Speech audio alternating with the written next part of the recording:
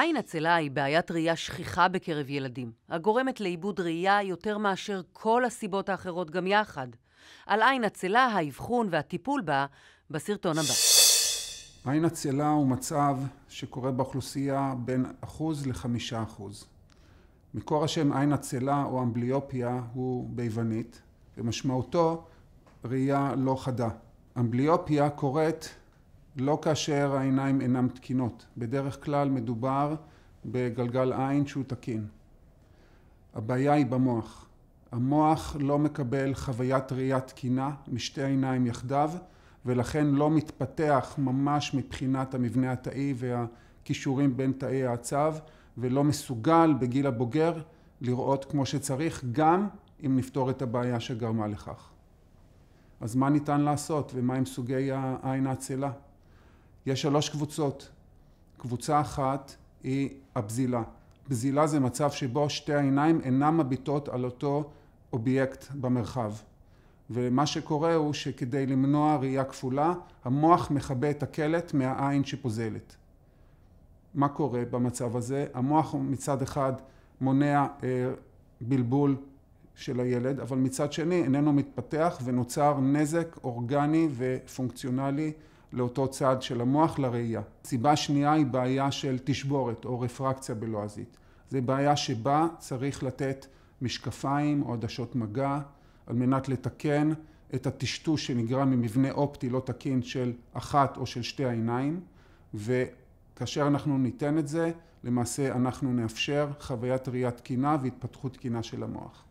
והסיבה השלישית היא סיבה של חסך, deprivation, מצב שבו אחת או שתי העיניים אינן מקבלות תמונה חדה או ברורה או בכלל לא מקבלות תמונה של האובייקט עקב משהו שחוסם את ציר הראייה. זה יכול להיות ירוד, קטרקט מולד, זה יכול להיות צניחת עפעף, זה יכול להיות גוש בעפעף, אה, כמו המנגיומה שזה גידול שפיר, שמונעים מאותה עין ומהמוח באותו צד לראות תמונה חדה וברורה. אז מה צריכים לעשות? דבר ראשון, להביא את הילד למעקב מתי שצריך. להביא אותו לטיפת החלב, להביא אותו בגילאי שלוש וחמש באופן ודאי, ואם יש צורך אז יותר מכך, על מנת לאבחן ולאפשר טיפול. ומה הטיפולים?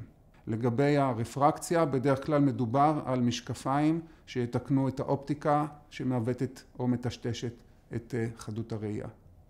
ולגבי חסך, אנחנו קרוב לוודאי נצטרך לנתח ולהסיר את המכשול לציר ראייה חד וברור, וככל שנעשה את זה יותר מוקדם, כך ייטיב. דיברנו על האבחון, על הטיפול, מה אה, עומד באופק.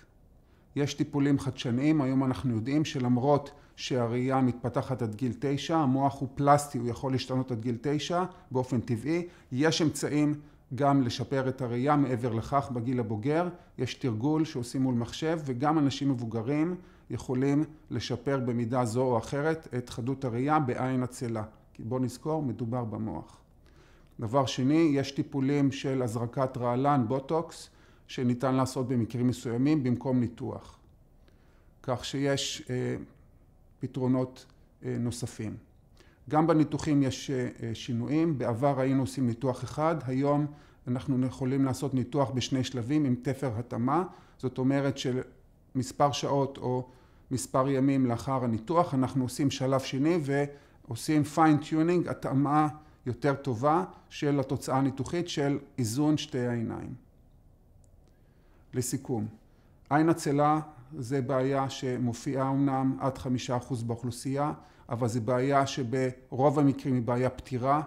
חשוב לזהות אותה בזמן, כי לא תמיד אנחנו נראה שיש בעיה, ולכן לקחת את הילדים לטיפות החלב, לרופאי עיניים לילדים, אה, ולבצע את הבדיקה בגילי שלוש וחמש באופן ודאי.